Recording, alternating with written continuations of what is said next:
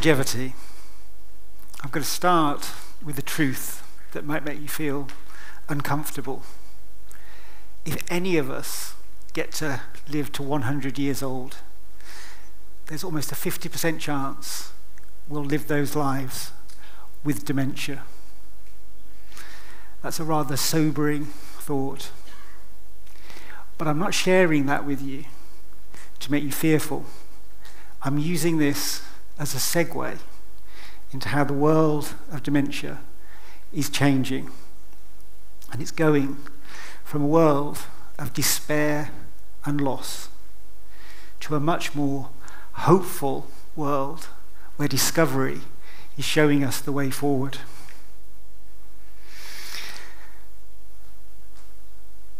A Re:Cognition where I work, we've been delivering clinical trials for patients with dementia for 10 years. And in November 2024, history was made.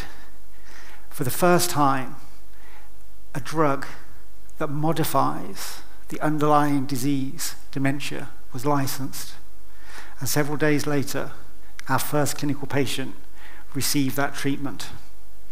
That's an indication of how the world of dementia is changing. But there's a much bigger shift happening in the background. And this involves a more fundamental reimagining of dementia. We believed, not unreasonably, that dementia is primarily a problem with the brain cells. The brain cells, as we get older, start to fail. That's the core idea behind dementia. Following that, we think of dementia as a disease of old people, of old age. But it turns out that both of those assumptions are wrong. And that's incredibly important because it's from this that the portal of hope opens up. Now, I'm not saying this on the basis of opinion or theory this position is grounded in three new insights, three discoveries, and that's going to be the topic that we discuss today. So, I started in 1998, and at the time I was doing research in acute stroke, and I was trying to work out how the blood vessels in the brain really worked. And I couldn't quite work it out, and I worked with a professor of pathology and together, we rediscovered a circulation that lies on the surface of the brain, hidden, but is activated when we have an acute stroke. And that insight resolved that challenge. And in fact, it shapes how we deliver acute stroke for patients up until today. But as he was leaving, as we were finishing our collaboration, he said, you might be interested in another hidden system, a lymphatic system. It drains proteins like amyloid out of the brain.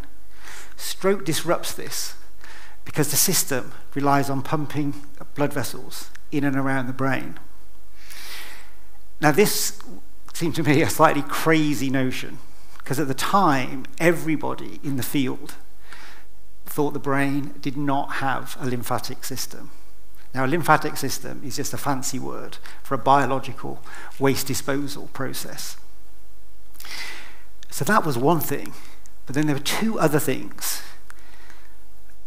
Taking amyloid out of the brain. And I'd never thought about that. Now, this is important because amyloid is the thing that sits underneath Alzheimer's disease. So that was the one thing. And then the next thing was this idea that the blood vessels, the pulsing of the blood vessels, that was how these proteins were taken out of the brain. Now, even though this did seem quite a wild proposition, there was something about it that rang true. And at that time, with all the work I was doing on the stroke project, I didn't have the tools and the time to take it forward. But that idea did stick with me. And four years later, I tried to do a research project that followed that up. And just at the last minute, it got cancelled. But fortunately, in parallel to this, there was a female Danish doctor neuroscience who was following this lead up. And by 2012, she was ready to publish. Now, her journey to that point had been really difficult. She'd been ridiculed, there'd been resistance, misogyny, but she'd gone through it all and she was ready to publish. And the first thing she told everybody was that the brain is a living thing and it's made of protein. And this protein is being turned over all the time. So, in all of us, every day, 5% of our brain is turned over. And if you think about that, when you think about your car, that's the equivalent of your car redesigning and changing its engine every 20 days while you're still driving it. And a point was, if that is how the brain is, it's going to need a pretty impressive waste disposal system. And she showed this was there, and it was called the glymphatic system. And so the G distinguishes the brain's lymphatic system, and it is slightly different to the rest of the body. And lo and behold, it's different because it depends on those blood vessels that professor of pathology had mentioned. But when I first saw an image, a moving image of this system, it was just extraordinary. There was the brain blood vessels pumping, and there was literally water flushing through the brain. And she very cleverly named this brainwashing. now that got people's attention, but it also posed another interesting challenge that no one had thought about. There is just no way the brain can work normally with that much fluid going through it. But obviously, nature was ahead of the game. And this system only switches on at night when we're asleep. And that helped me make sense of sleep in a different way as well. So obviously, sleep is about repair, it's about re remembering things, putting things into storage, but it's also when the trash gets taken out of the brain. And it also has some practical implications. So, have any of you felt terrible after jet lag? I've certainly felt terrible as a junior doctor being sleep deprived for years, but I just didn't know why. And it turns out we feel terrible after jet lag because this system relies on two things. You being asleep, it's hard to sleep on a plane.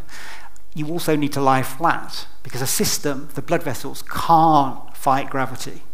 So when you're feeling terrible and groggy the next day, the reason you do feel like that is because your brain is full of waste.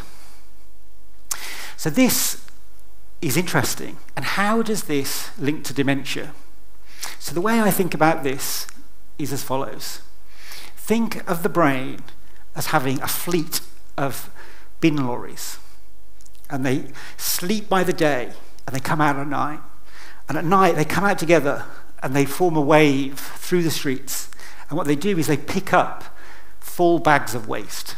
They put them in the back of the lorry, they take them to a central depot, deposit, and then they go back to base before sunrise while the person's still asleep. So, how does any of this link to dementia? Well, if that system slows or breaks, what happens is those trash bags get left on the side of the street building up. And we all kind of know what happens when the garbage starts to build up. Now, in the brain, that garbage is protein. Waste protein, slightly faulty protein. It's just not meant to be there. And that means in the brain, we have this term called protein accumulation. And protein accumulation is the cardinal feature of dementia. So in Alzheimer's disease, the protein that gets in the brain is called amyloid.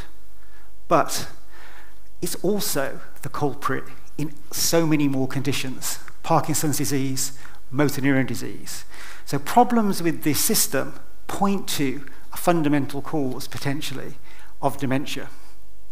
And this was the first insight. When we think about dementia, it's beyond nerve cells. There's also this system, this nightly system in the brain that takes waste out. So by the time the Danish professor was introducing brainwashing to the public, I'd shifted my focus. And I was now working on a condition called mild traumatic, um, mild traumatic brain injury, MTBI. And this is a funny condition because it seems innocuous. People get bumped on the head. But in a proportion consistently, patients get ongoing symptoms. And typically, this affects relatively young people in the prime of their lives, and the symptoms devastate their lives. But this is one of the most controversial topics in neurology. There's been a debate that's been raging for literally 150 years. And so I ended up in the middle of this. And the patients I saw, it just didn't feel trivial. It felt really quite life changing, and I really wanted to understand this more. But when I went and looked what we knew about mild traumatic brain injury, it was obvious it was just a mess. People had lumped all kinds of different conditions in. And so what I'd learned by that stage was to go right the way back to the patients and start to study them, find out what the symptoms were. And that was helpful because it showed three patterns. It showed that the civilian people had an MTBI, most of them recovered, but a consistent proportion of people had ongoing symptoms. They had headache, they had fatigue, they had low mood, they had fogginess. Now, the soldiers, the veterans, they were different. They had this progressive problem, months, years, getting worse and worse and worse. And then the professional athletes, they were different again. They didn't really have very much in the way of symptoms to begin with, and they seemed to be fine. But decades after retirement, they were presenting with early onset dementias. So we have three patterns, three trajectories, but no real explanation as to why. And then I saw this image. So on the left, that's the image of people who are normal. In the middle, this is an image from people who've had a mild traumatic brain injury, but they've recovered. And on the right, it's a picture of the people who've had a mild traumatic brain injury and they've still got symptoms. And hopefully you can see right in the middle the white and the red areas. And I could not believe this image. I could not believe that this many months after a single knock to the head, the brain could have this much inflammation in it. And that made me realize that with this problem, I'd been looking in the wrong place. Yes, nerve cells were involved, but there was this neuroinflammation too. And this was a real OMG moment for me. So this is how to think about this bit. So you remember the bin lorries coming and taking the trash away. New Neuroinflammation is slightly different. It's like the housekeeper. And the housekeeper fills the bags up. Fills the bags up, puts them on the side of the street, goes back to the room, tidies it all up, ready for the next day. Now, the housekeeper is like the Hulk. If you stress it too much, it flips. And it doesn't just down tools and not clean the waste. It actually starts smashing the room up. And so you end up with bags and bags and bags of waste, and the bin lorries just can't keep up. And that is how neuroinflammation interacts. And that was my second big insight into what we might be missing from dementia. So when I looked at MTBI again, I could see neuroinflammation everywhere. It was there in the civilians, it was there in the veterans, it was there in the sports players. And suddenly this made sense. But it was also there in other conditions. It was there in depression.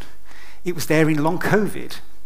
And even more intriguing, it was there from problems with the body, obesity, high blood pressure, even broken bones are driving inflammation in the brain. And the environment, smoking, alcohol, air pollution, all of this can take the neuroinflammation and turn it from the guardians of the brain to the agitators of the brain. And here is the clincher with respect to dementia. These inflammatory responses they show up in every single pathology case of dementia. And they're not just sitting there as bystanders, because we know from serial imaging that this neuroinflammation drives the disease. It drives protein accumulation. It drives the brain to get more and more damaged. So what we have here is the housekeeping system is itself becoming part of the pathology. So, got the second insight. So we have nerve cells being damaged. We have a nighttime waste disposal system that can get damaged. And now we have a housekeeping system of the brain that can turn from friend to foe. Now, the final insight this took decades to emerge. So, when we go back to 2002, when I was trying to chase that lymphatic system down, the key to the project that we didn't quite get over the line was the availability of a scan that could actually look at protein in the brain. And we got the presentation so close, and then the company that had developed it withdrew it and made it only available for commercial use. So, what that meant for me was I had to kind of watch the field develop from afar. And when this image appeared, about four or five years later, this was the first ever image of dementia pathology in a live person. And hopefully you can see it's dramatic. This is what the brain looks like of somebody who's got dementia in real life.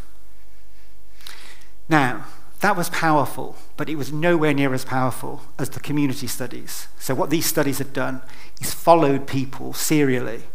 They'd taken people who were well in midlife and they'd followed them through year by year. And what did it show? It showed something extraordinary. Yes, the patients did have symptoms coming on in their 60s, 70s, and 80s, but completely by surprise the protein you can see on that picture was starting to accumulate in the brain 20 or 30 years before the first symptom came on. So now we have all three parts of the puzzle. We have a nighttime waste system that can go wrong. We have a housekeeping system that can go wrong. And we have protein accumulating in middle age. And of course, this changes everything.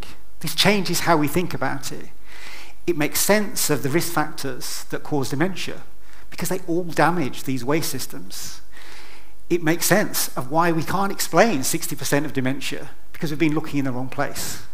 But most importantly, it offers an opportunity to prevent dementia. So I say to you, we need a philosophical awakening about how we think about dementia.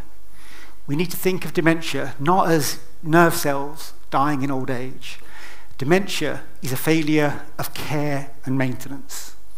And why is this important? Because longevity is not about adding years to life. It's about living those life, living those years with dignity, with consciousness, because the brain is just not something we live with. It's the place that we live our lives. Thank you.